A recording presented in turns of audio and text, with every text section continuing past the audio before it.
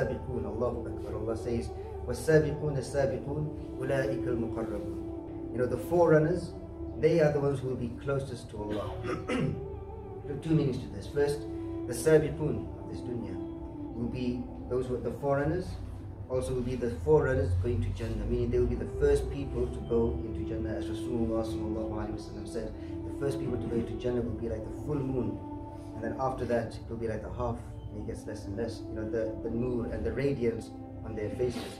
Allah make of the sabiqun again there's two types of sabiqun one is the sabiqun al-awwalun which none of us can be from. You know the first people of Islam the Sahaba.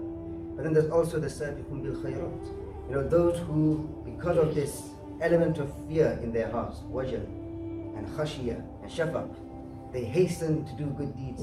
You know they don't come offer yes, salah. You know, five salah, no problem. And then, okay, no problem, I've done my obligations to Allah now. I'm going to kick my shoes off, sit back and relax.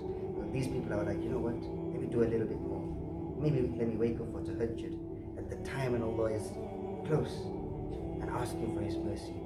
Maybe give Him more sadaqah so that, you know what, I can earn the mercy of Allah. Just in case, just to protect myself. These are the ones whom Allah favors and makes them the closest to Him. Allahu Akbar. May Allah make us all close to Him.